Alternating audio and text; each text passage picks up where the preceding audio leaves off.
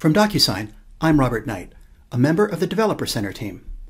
In this screencast, I'll walk you through installing and running the Bash Quick Start on Windows and the embedded signing code example. The prerequisite to this video is a Quick Start zip file. If you haven't yet downloaded your Bash Quick Start zip file, please first follow the steps in the Quick Start overview page, or the How to Download Quick Start video. Quick Start is a software wizard that packages a personalized, runnable set of code examples we call a launcher. You can choose from eight programming languages. Quick Start requires the user to have a DocuSign developer account. Quick Start will prompt the user to log into their account or create a new one. Then, Quick Start configures an app in the user's developer account that can make API calls.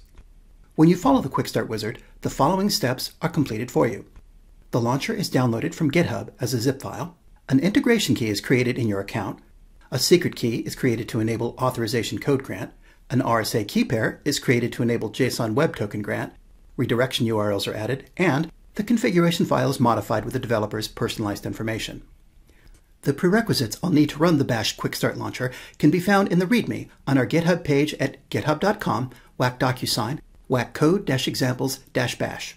This README is also included in the Quick Start zip file. Also in the README is a description of all API code examples with their source links to GitHub. Scrolling to the installation prerequisite section, I see that it says, Note, if you downloaded this code using Quick Start from the DocuSign Developer Center, skip items 1 and 2 as they were automatically performed for you. To run the Bash launcher, I need a Bash terminal. I'll be using the one that comes with VS Code. Looking at the installation steps, I see that it says, Note, if you downloaded this code using Quick Start from the DocuSign Developer Center, skip step 3 as it was automatically performed for you. Step 1 is extract the Quick Start zip file, or download or clone the code example bash repository.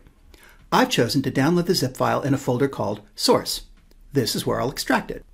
Now I'm in my extracted Quick Start folder. Note that the Quick Start wizard appends a dash and the code language on the end of my Quick Start folder name. Quick Start personalizes the launcher by loading a configuration file with the developer's account information. For the Bash Quick Start, this configuration file is located in the config folder and is named settings.txt. In addition to my email address and name, my unique integration key, secret key, and impersonation user GUID are also in the configuration file. Since they contain private information, please don't store the settings.txt file or the private.key file in your source control. On the Apps and Keys page in my DocuSign developer account, I can see the values that the Quick Start created and then loaded into my configuration file. The user ID is saved as the impersonation user GUID, and the integration key is saved to both integration key JWT and integration key auth code. When I click the Actions drop-down control next to my app name, Tally Customer Portal, I can select Edit to see more values associated with my app.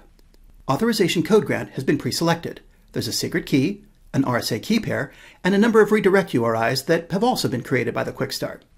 The secret key has been saved to settings.txt, and the private key of the RSA key pair is saved in the config directory as the file private.key. Note that if I forget or delete my secret key, I can create a new one by selecting Add Secret Key, and I can then paste it into my settings.txt file. Although there are multiple URIs, I only need the first one, localhost 8080 authorization code callback. The rest are used by Quick Starts for other programming languages.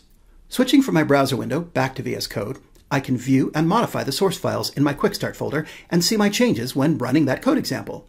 Here's the code example for embedded signing in the Quick Starts root folder. The file name is eg001 embeddedsigning.sh. I'll change the name of the DocuSign document from Lorem Ipsum to Hello World. This is the name that will be shown when the document is presented in the browser to the recipient who will sign it. Step 4 is Run the launcher. In the Quick Starts root folder, open a new Bash terminal window in VS Code and execute the command bash launcher.sh. From the API menu, select 1 for e-signature, then 1 again for use authorization code grant. From here, you'll see the consent window from the application, Tally Customer Portal. In the authorization code grant flow, the application obtains consent from the individual user to perform actions on their behalf, then receives an authorization code that can be exchanged for an access token, which is required to make API calls. Since Quick Start also adds a private.key file and configures my settings.txt file for JSON Web Token or JWT grant, I could select that flow as well. Note that the Bash launcher uses PHP for the authorization code grant flow. You can find the code for this in the OAuth directory in the code underscore grant.php file. Once the user has granted consent to an application, they will not be prompted again unless consent is revoked. I'll click Accept. Back in the VS Code bash terminal, according to the prompt, pressing any key returns the menu for the e-signature code examples. Embedded signing is the first code example, so 1 launches the EG001 embedded signing.sh file in the root directory. In the browser, I see the envelope is populated with the signer name and email address from the setting.txt config file.